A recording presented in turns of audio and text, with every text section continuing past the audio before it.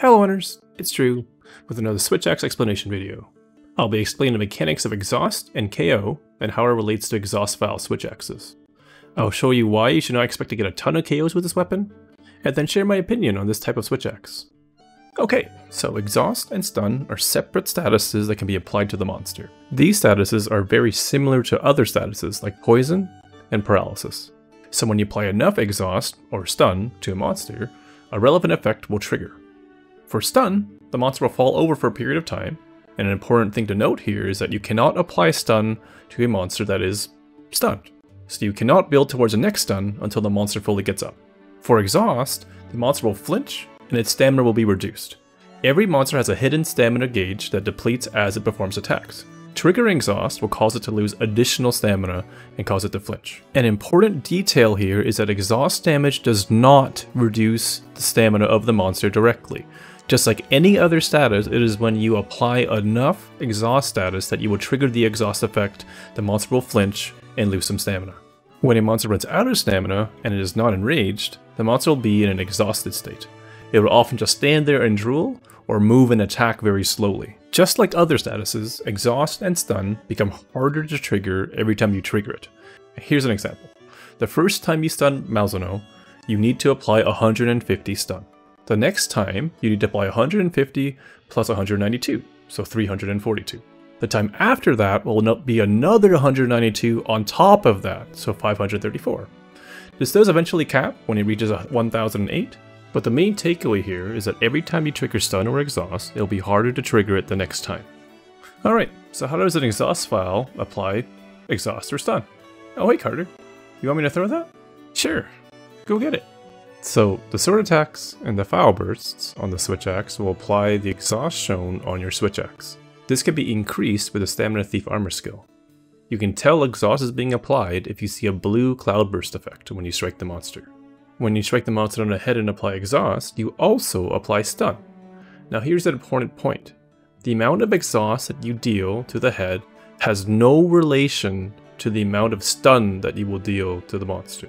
Any stun damage that you deal to the monster with an exhaust switch axe will apply 5 stun, and that's it. You may begin to understand now why you should not expect to stun a monster a lot with an exhaust phial switch axe.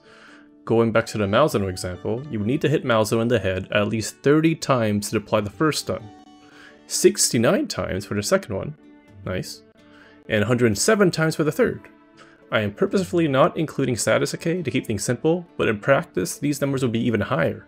Because the amount of stun you apply is so low, effects like Slugger are not really worth it and will not make that big of a difference for you. So in general, you will expect to get at least one stun, the second one will be pretty difficult and the third one will be extremely difficult to achieve. But one or two stuns per hunt is not trivial. It will add a good amount of value to your hunt but the most prominent effect of an exhaust phial switch axe is the large amount of exhaust status that you apply for flinches and eventual monster exhaustion. So, onto my opinion on exhaust phial switch axes. I think it's a good option for a raw damage build. It does less damage than a power phial, but the flinches, exhaust, and stun is non-trivial. It will add a lot of value to your hunt.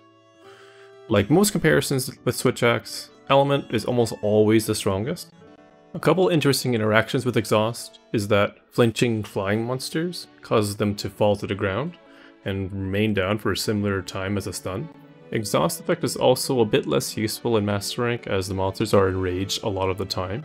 In addition with Afflicted Hunts, when a monster is knocked out of its afflicted state, it automatically becomes exhausted anyway. With the Reconqueror's switch axe, it's relatively easy to get that purple sharpness by just augmenting the sharpness into the weapon so it does have pretty good purple sharpness options. So overall, I think Exhaust Phial Switch Axe is a pretty good raw build. However, I also think that Exhaust Phial is a great way to get into using Switch Axe. Its amp gauge is easier to charge, um, you get more openings with your flinches and exhausting the monster and the stuns. So it's a great way to get into weapon and not need to make a bunch of different Switch Axe builds just to get started. If you thought this video was helpful, let me know in the comments. I received some requests for an exhaust phial build, so I took a close look at exactly how exhaust phials work. I plan to have a build for exhaust phial coming out next. I have a SwitchX phial explanation video here if you're looking to learn more. Besides that, I hope to see you in the next video. Take care.